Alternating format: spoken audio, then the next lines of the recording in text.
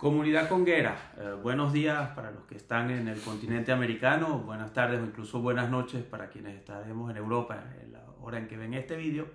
Eh, estoy feliz de estar al lado de dos grandes amigos y colegas. Eh, Joanny Manjarres la conocen, ella es la representante del proyecto La Conga Physics en la Universidad de Dresden. Y al lado de Joanny está Ever Torres, eh, que es también un investigador eh, en, en, la misma Universidad de Dresden. Entonces aprovechamos la ocasión de estar los tres juntos para tener una breve conversación sobre lo que ha representado el bosón de Higgs en nuestras vidas y cualquier otro elemento que, que nos llame la atención. Entonces, Ever, dada, dada tu participación activa en los años que precedieron al descubrimiento y en el descubrimiento, eh, propongo que empieces tú. Sí, bueno, Tuve una suerte increíble. Yo empecé mi tesis de doctorado en el 2009, justo cuando el LH se comenzó a tomar datos. Antes de eso la gente trabajaba solamente con, con muestras de simulación de Monte Carlo y a partir de ese momento comenzamos a trabajar con datos reales. Y para cuando yo estaba terminando mi tesis estábamos descubriendo el bosón de Higgs en el en el 2012. Así que un, mejor timing este, no pude tener. Eh, uno de los momentos más eh, apasionantes fue alrededor del otoño del 2011, cuando nos estábamos acercando en, términos de sensibilidad estadística al a la sección eficaz del modelo estándar para el bosón de Higgs y estaban llegando más y más datos, estamos acumulando más y más datos. Normalmente cada mes este, teníamos un nuevo paquete de datos que analizar y entonces actualizábamos todo el análisis y, mirábamos de nuevo cuál era la sensibilidad del análisis para el bosón de Higgs y, cada vez estábamos más, más y más cerca. Sí, bueno, eh, debo comentar que Ebert estaba haciendo su tesis de doctorado en el LPNH, que es el mismo laboratorio en donde yo trabajo. Entonces éramos vecinos de despacho. ¿ah?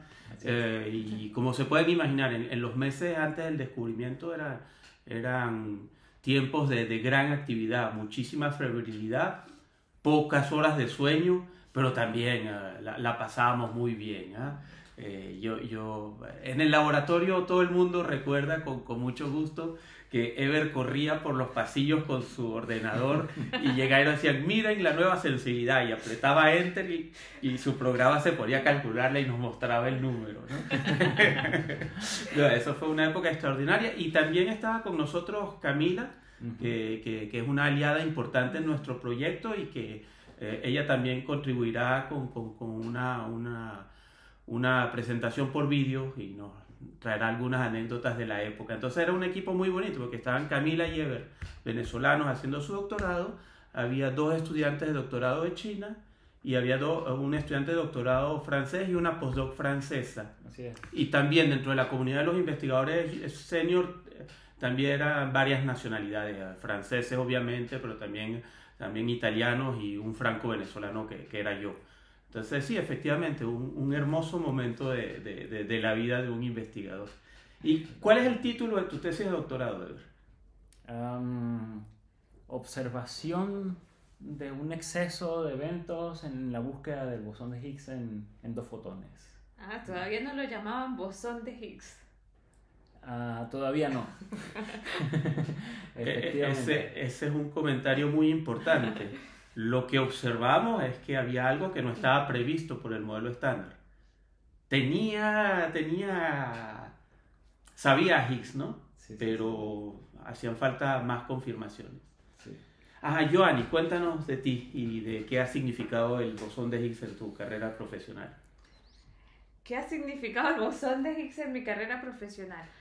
Bueno, yo principalmente estudio el sector electrodébil de, de la física de partículas y hago estudios de, de, bosones vectoriales. Y aunque yo no miro el bosón de Higgs directamente, como eh, la vida de estos bosones que yo estudio está muy influenciada por el bosón de Higgs. Y, y ahora estudiamos unos procesos rarísimos del modelo estándar que, que necesitan la presencia de un bosón de Higgs para estar regularizado para que no esté completamente loca esa sección eficaz. eh, fuera de control. Y entonces vemos la influencia de un bosón de Higgs, que hasta ahora parece muy modelo estándar, no hay nada que nos indique que, que no es el bosón de Higgs de modelo estándar, porque si no fuese el bosón de Higgs que está allí, esa sección eficaz sería totalmente diferente de lo que ahora medimos. Así que de alguna manera, no, incluso sin mirar el bosón de Higgs, vemos los efectos que él tiene en, nuestra, en nuestras medidas de, sección eficaz. No, claro que sí, esos son estudios muy importantes porque efectivamente la afirmación el bosón de Higgs, para hacerla precisa, hay que explicar que el modelo estándar tiene una predicción muy particular, pero hay otros modelos de física que tienen que reproducir los éxitos del modelo estándar, pero también aportan diferencias, ¿no? Y tú te interesas también, Joanny, en la, forma del potencial de Higgs, eso forma parte de tus proyectos científicos. Eso es parte de, lo que yo quisiera hacer en, el futuro de, mi carrera.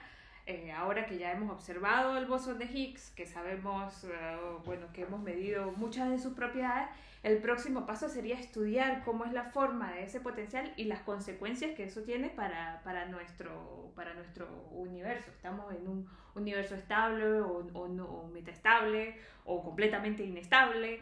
Eh, cómo ocurrió la, la, la electroweak phase transition y que tiene consecuencias poderosas en nuestro, en nuestro en la manera en que comprendemos nuestro universo. Y, y para eso ahora tenemos que medir no solo un bosón de Higgs, pero dos bosones de Higgs para realmente tener acceso a la forma de ese potencial.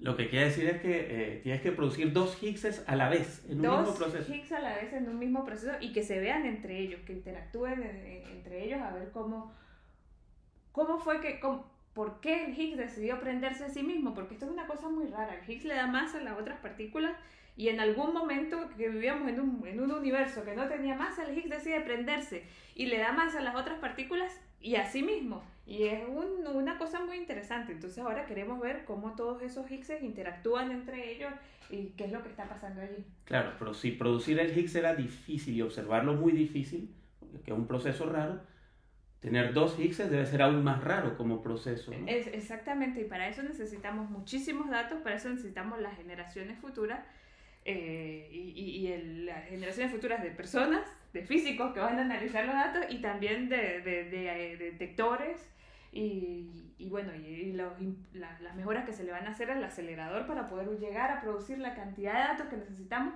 para ver ese proceso tan raro de dos Higgs.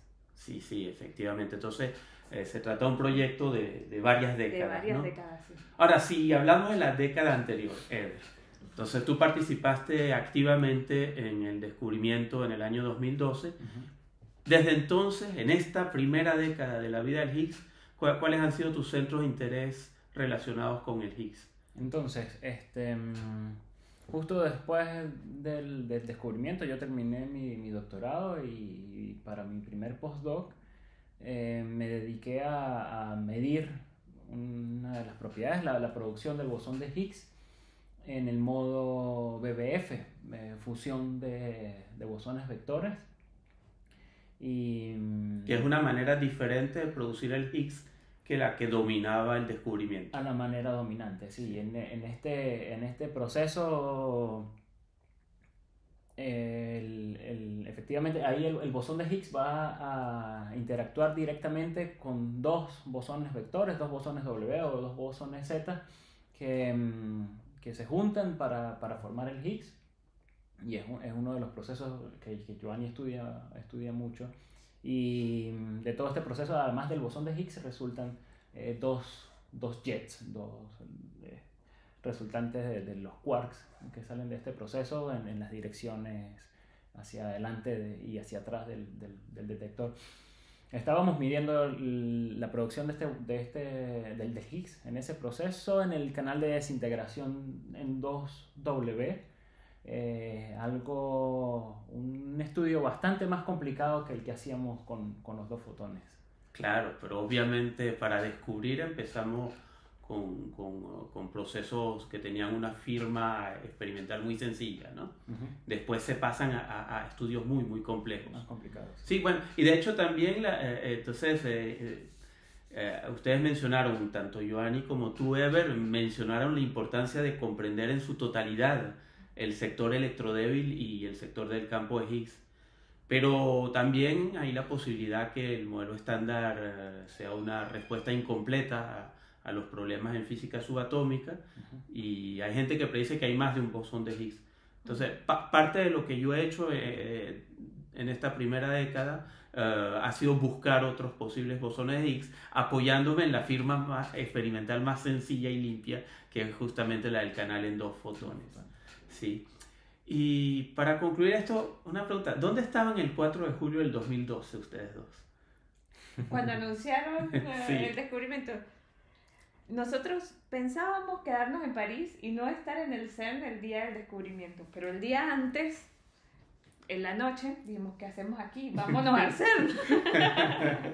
Sí, tomamos un, un tren de noche y viajamos de noche de París a Ginebra y por la mañana llegamos y el auditorio estaba full, había gente que había pasado la noche haciendo la cola para entrar al auditorio y estaba full y había mucha gente que había quedado por fuera y mm, eh, creo que seguimos el, el, seminario desde afuera, cada uno con sus laptops. También había otro auditorio donde estaban... Sí, efectivamente, había varias salas que proyectaban.